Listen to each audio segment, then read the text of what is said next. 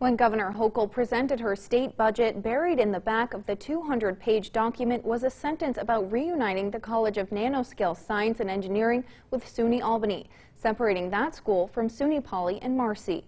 The College of Nanoscale Science is seen as an economic driver for the Capital District, and political leaders from Governor Hochul to U.S. Senator Charles Schumer have touted the Albany operation as an important part of a plan to make New York a major player in nanotechnology and microprocessing nationally.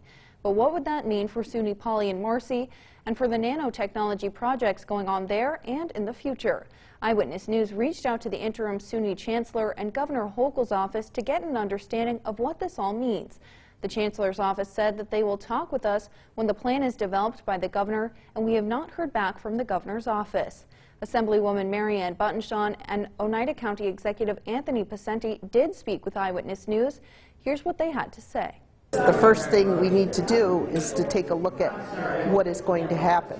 There is nothing in the budget this year uh, regarding what she reflected in her statements.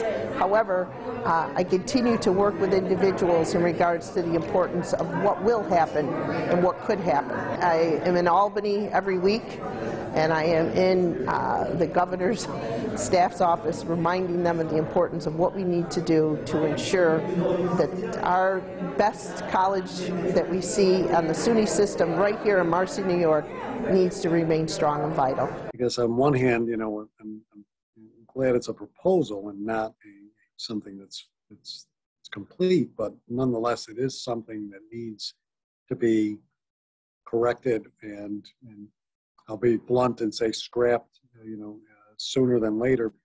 It the economic development impact is immense, you know, and, and then you know coupled with, you know, what does that do to the enrollment and the overall attendance and, and, and overall interest in, in SUNY Poly, which, you know, the, the, the boost that, that nanoscale science gave that campus several years ago has paid off.